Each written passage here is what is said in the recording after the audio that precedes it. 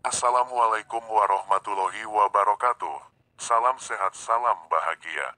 Channel ini berisi informasi mengenai manfaat berbagai jenis tanaman obat untuk kesehatan tubuh yang dirangkum dari berbagai sumber.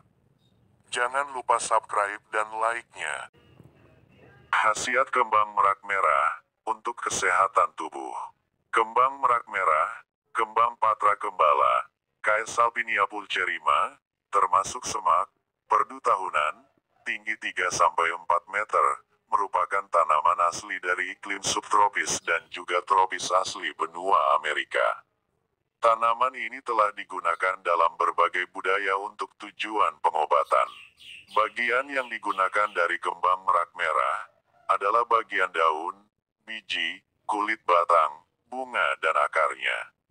Kembang merak merah berkhasiat untuk mengobati demam intermiten, mengobati pilek, batuk, penyakit kulit, mengobati liver, sebagai obat kumur untuk sariawan di mulut dan tenggorokan, mengobati erisipela's atau infeksi kulit oleh bakteri dan radang mata, sebagai tonik, mengobati diare dan disentri, luka, nyeri, nyeri dada, sesak nafas, batu ginjal, malaria, bronkitis, perut kembung, tumor ganas, dapat menginduksi atau menyebabkan aborsi, bersifat sebagai pencahar dan pelancar haid atau menstruasi. Kembang merak merah juga memiliki aktivitas sebagai antipiretik dan antimikroba. Kembang merak sering digunakan dalam industri kosmetik untuk menghasilkan produk perawatan kulit seperti sabun dan minyak aromaterapi. Ekstrak kembang merak dikenal karena kemampuannya menghidrasi dan meremajakan kulit, serta memberikan efek melembutkan dan mencerahkan. Ramuan obat tradisional yang menggunakan khasiat kembang merak merah di antaranya 1. Mengatasi menstruasi tidak lancar. Rebus 15-30 gram bunga segar kembang merak merah. Biarkan hangat atau dingin. Saring hasil rebusan, lalu minum. 2. Obat sariawan. Cuci bersih daun kembang merak secukupnya. Rebus daun hingga mendidih. Biarkan hangat lalu saring. Gunakan air hasil saringan untuk kumur-kumur.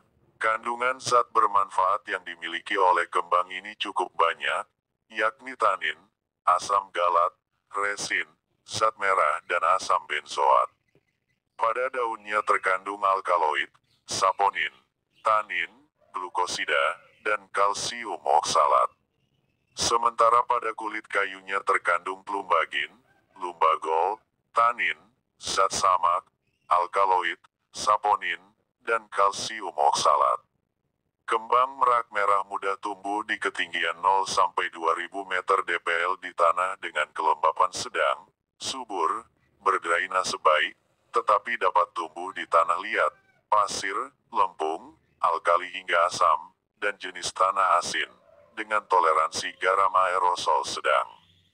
Persyaratan cahaya adalah sinar matahari penuh, sinar matahari sebagian atau naungan sebagian, tetapi spesies ini berbunga paling baik di bawah sinar matahari penuh. Kembang merak merah akarnya berwarna merah, berbentuk bulat dan tidak terlalu panjang, termasuk pada akar tunggang.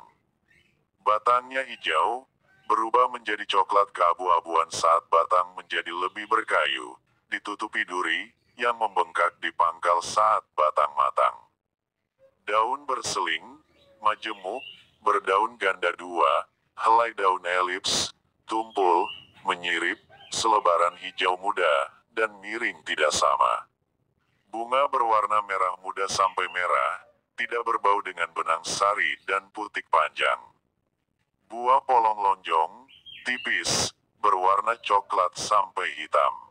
Biji banyak, pipih, padat, coklat, biasanya 6-8 per polong. Perbanyakan secara generatif dengan biji. Itulah sekilas mengenai tanaman kembang merak merah, yang khasiatnya dapat digunakan untuk mengobati beberapa masalah kesehatan.